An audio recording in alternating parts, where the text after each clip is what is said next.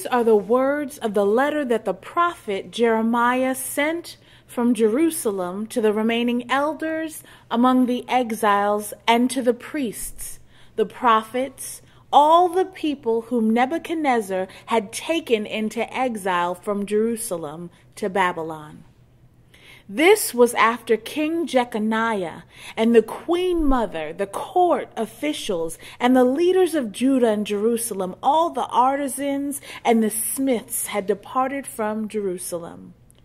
The letter was sent by the hand of Elasah, son of Shaphan, and Gemariah, son of Hilkiah, whom King Zedekiah of Judah sent to Babylon to King Nebuchadnezzar of Babylon it said this.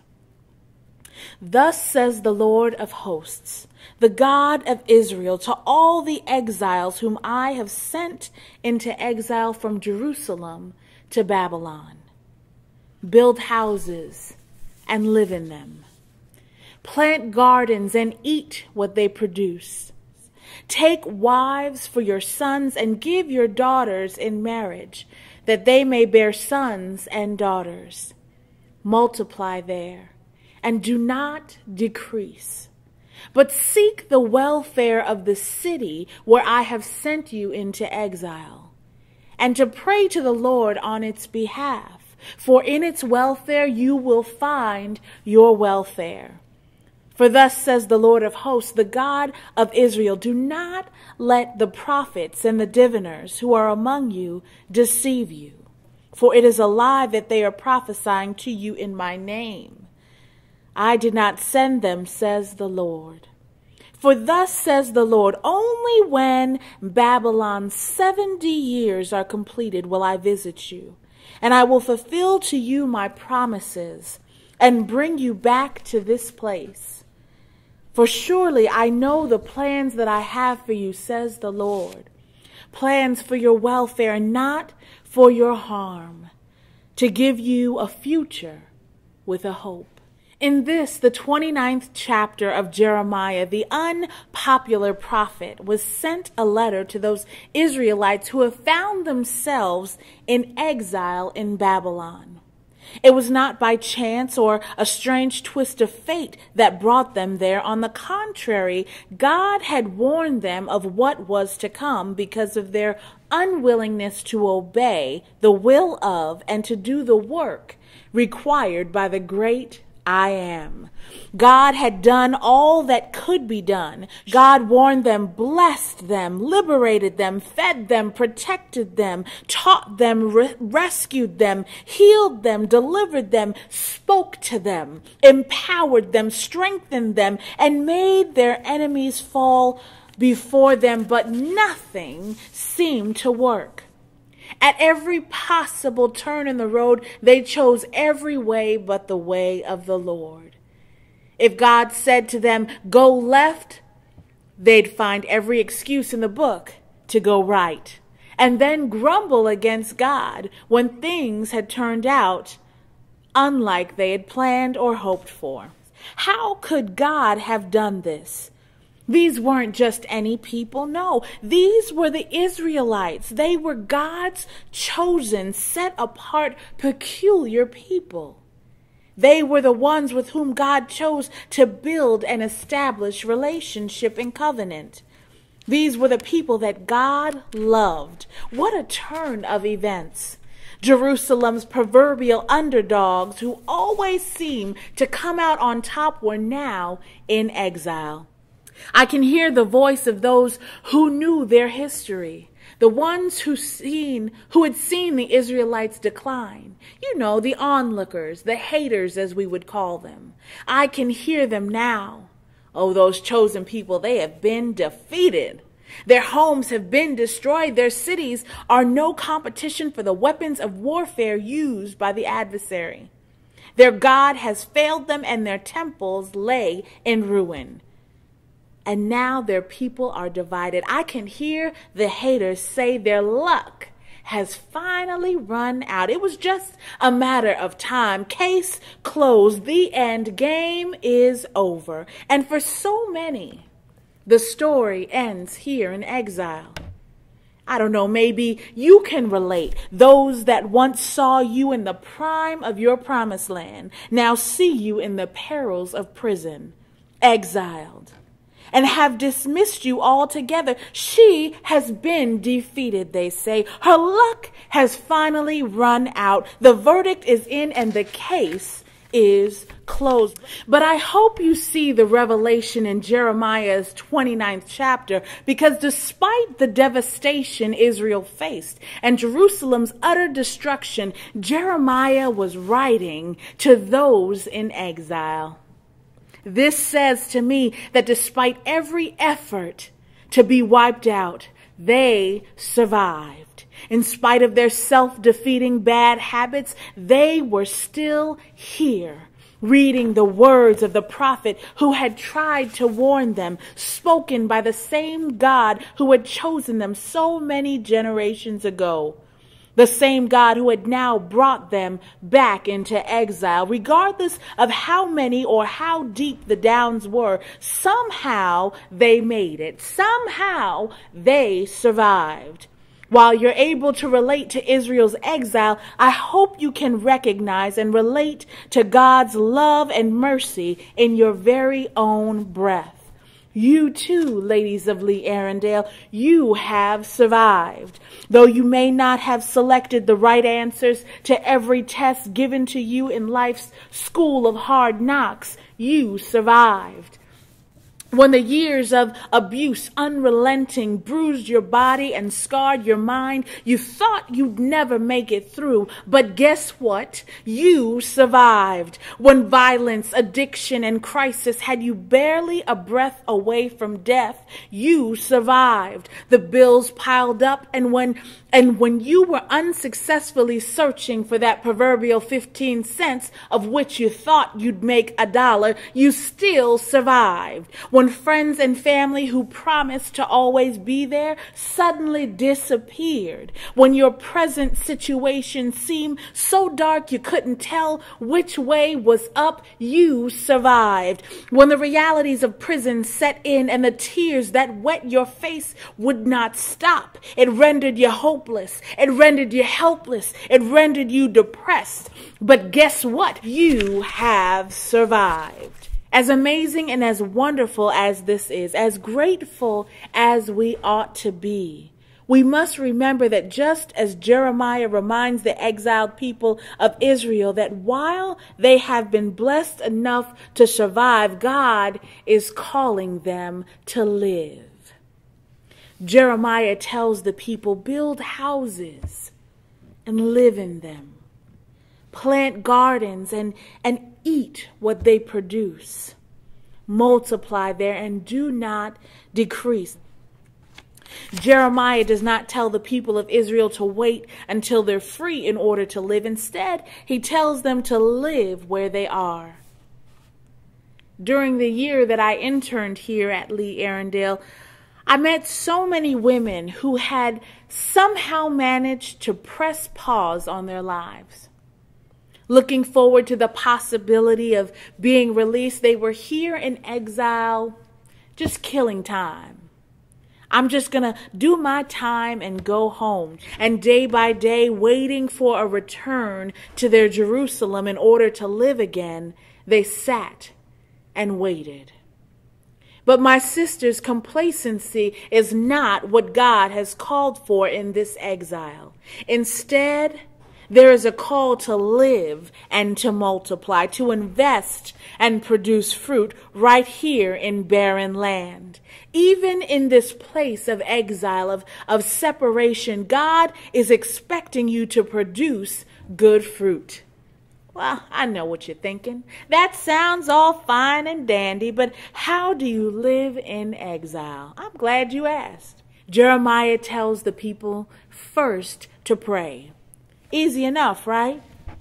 It's not any prayer, though. It's a prayer for the city in which they are in exile. See, God knew when speaking this through Jeremiah exactly who the Israelites really were. God had known that their tendency in crisis was to grumble, to complain, and to focus on themselves. In the same way, God knows us. God knows that the thing we tend to do in exile is pray for our own immediate release. Lord, get me out of here.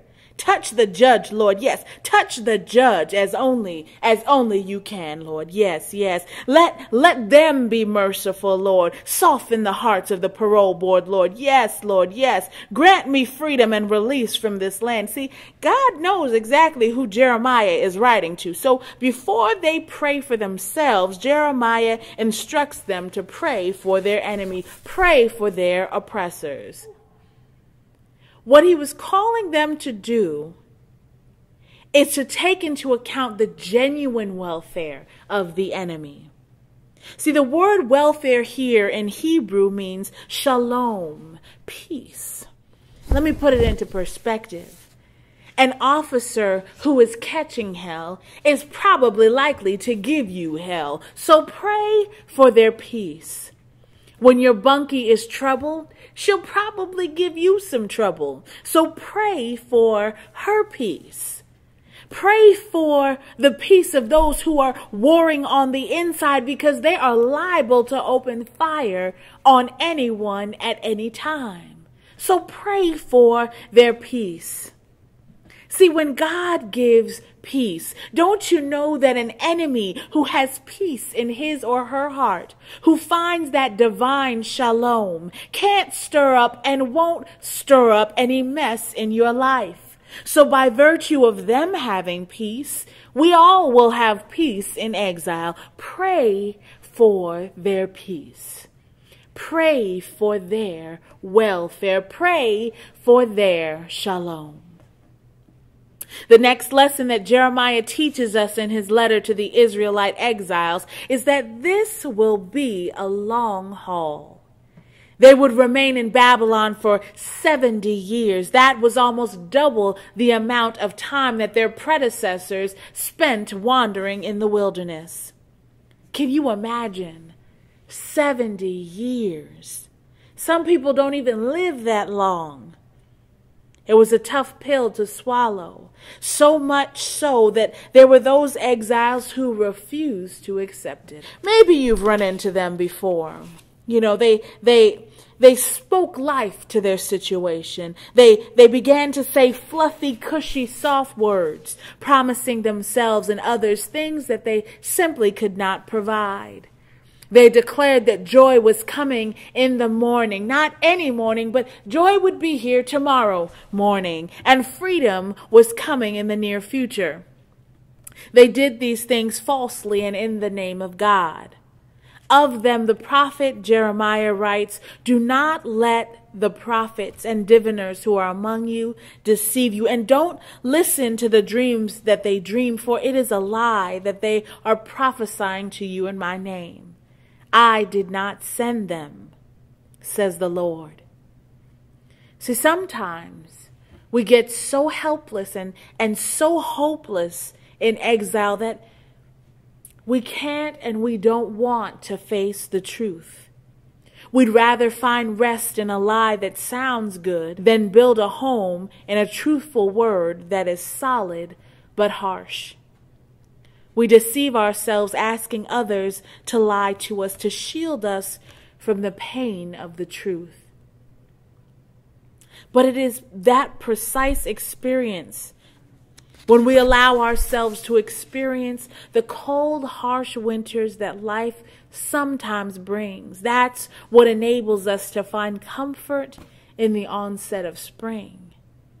So be careful in hiding from the truth and rebuking the challenges of life. Do not listen to the dreams they dream, says Jeremiah, for it is a lie. I did not send them, says the Lord. The prophet's letter teaches us that there is a plan, there is a hope, and there is a future. Yes, this exile may last a lifetime, but God has a plan. Yes, others may have written you off, but God still sees your future. Yes, there may be dark nights up ahead, but there is still a hope. It may not seem like it now, but, but do what Jeremiah says and, and keep on living. Why? Because God has a plan. Look at Joseph, the one who dreamed dreams, blessed with the gift of vision, and yet he was cast several times into exile, but God had a plan. Consider the three exiles, Shadrach, Meshach, and Abednego, thrown into the fiery furnace. The outlook didn't seem promising, but God had a plan. When I think about my Savior, when I think about Jesus living exiled as an inmate on death row, when I think about the Lord stretched wide and, and hung high and pierced on the executioner's cross, the outlook seemed bleak, but God had a plan. See, I don't know about you here today, but I find comfort in knowing that God has a plan. Not just any plan, no, but one that includes a future and a hope. 1 Corinthians 13 reminds us that when it has all been said and done, only three things remain faith, love, and hope. In spite of this exile, be it 70 days or weeks or 70 years, God has a plan for your life. He has not given up on you. Let me say that again. God has not given up on you. In truth, your family may have given up on you. Your friends may have given up on you. The courts may have given up on you. The judge may have thrown the book at you, but God has not given up on you. Others may struggle to get beyond your past, but God knows your future. We have the advantage that the Israelites in exile didn't have. See, we know the hope is to be found in Christ. But just keep on living, keep on praying, and keep on believing on that hope. The hope found in Jesus. It is a hope that enables us to live in exile. So do as Jeremiah instructs the Israelites build houses, but build it on that hope.